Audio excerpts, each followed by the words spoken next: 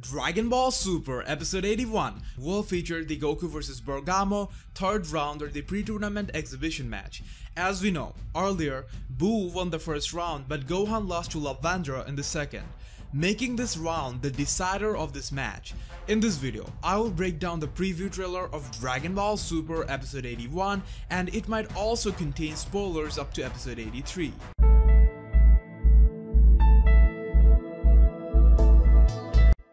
First, let's check out the title and preview summary.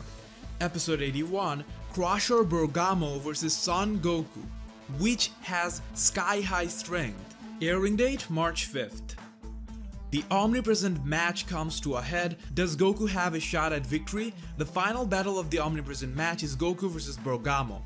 Bergamo uses some slick talking to get the stadium on Universe 4's side, turning them completely against Goku and gang. What's more, Bergamo shows off his ability to turn his opponent's attack into his own power. How will Goku fight this tricky foe? Crusher Bergamo shows his stuff. Omniking this week, taking back his declaration to wipe out the universes? Accepting the Bergamo's proposal, Omniking announces that if Universe 4 wins, he will withdraw his plan to wipe out universes who lose in the Tournament of Power. What is Omniking's aim? Translation courtesy Herms98. Well, there's some confusion regarding the preview summary. In the official source, it is mentioned Universe 4, but it will most probably be Universe 9. We'll talk more about that as we go through the frame by frame breakdown of this preview. So, from the first shot, we know Bergamo was strong enough to push Goku to go Super Saiyan at least. We see him preparing some reddish fist attack. Looks cool. Bergamo as a character also looks quite cool, not in a powerful way, more like refreshing. About this battle overall, I don't think there's any way Bergamo can overpower Goku. There's just no way he would be stronger than Super Saiyan Blue. None of the fighters of U9 are stronger than U7 fighters. The only reason Lavender managed to tie the round versus Gohan was because he used a sneaky poisonous move. The only way Goku would lose this match is by something weird like that or if Goku willingly loses because of the reason mentioned in the preview summary. I will analyze more on if Goku will throw the match for the greater good later in this video. Moving on, Champa seems a bit pissed off. Why wouldn't he? But Whis, like always, is all chill. He knows no matter what, he's gonna be fine. His daddy is the great priest after all, Notice that all of them including Beerus are looking upwards. That's most probably because of Bergamo's giant transformation. Hell yeah! Things are going to get real intense next episode. What does this remind you of though? How many giant transformations we have in Dragon Ball?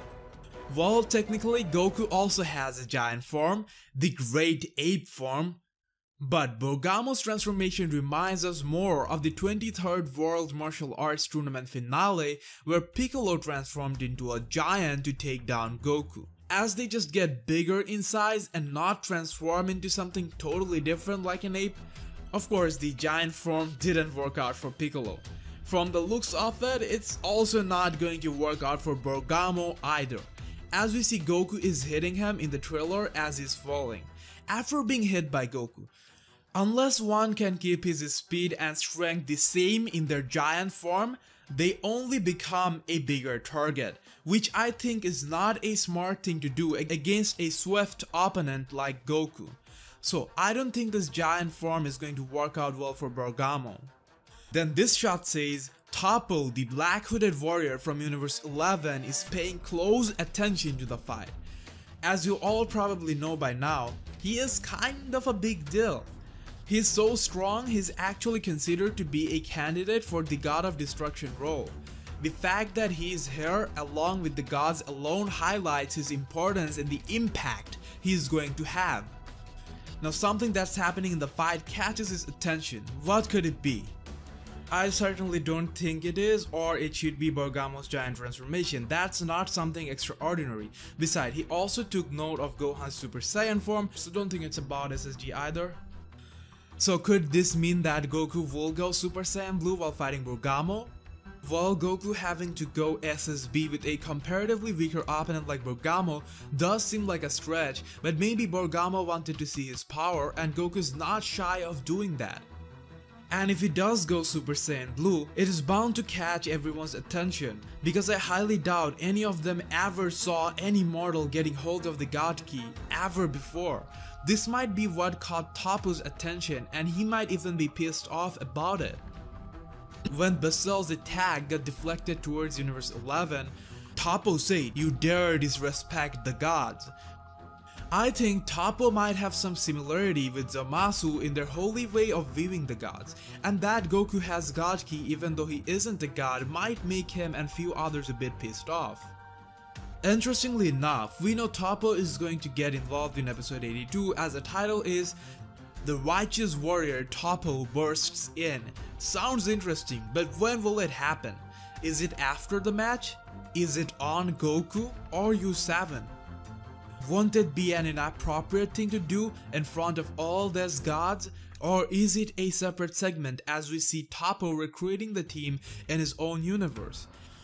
As in episode 83, we will finally see Universe 7 forming their team. Okay, all that apart, about the episode preview summary, it's probably Universe 9 in place of Universe 4. If that is in fact the case, this seemingly useless exhibition match will now have some impact. That is if Universe 9 wins, there will be no destruction. So, do you think Goku will lose the match on purpose? Goku is a bit selfish, but as you know he's not responsible for the destructive rule. Zeno was going to Zeno was going to weaker universes anyway. Thanks to Goku, the universes will now have a fighting chance, so I think if presented with the opportunity, Goku would lose, but we don't know how exactly this will go down. However, we do know, no matter what happens at the end, it has to be a survival tournament. Even if they withdraw the rule now, it'll come back. Because the name of this arc itself is Universal Survival Arc, and if the law is removed, it would be taking away the biggest specialty of this tournament of power. Also, fighters like Gohan and other Z-Fight are supposed to train giving their 100% for the sake of protecting their universe. I think the rule will not be withdrawn and from a creative plot point of view, should not be withdrawn. Hopefully the fight will be entertaining, see this shot even the stage got broken. That's about all. I know I was extremely late for this preview, you are probably watching this only a few hours apart from this episode, sorry for that, I'm actually quite sick, so it took me an awful lot of time to do this and even though it's late, I thought let's just have a pre-episode talk with you guys. So comment your opinion, thoughts and predictions down below. See you in the next Dragon Ball Super video.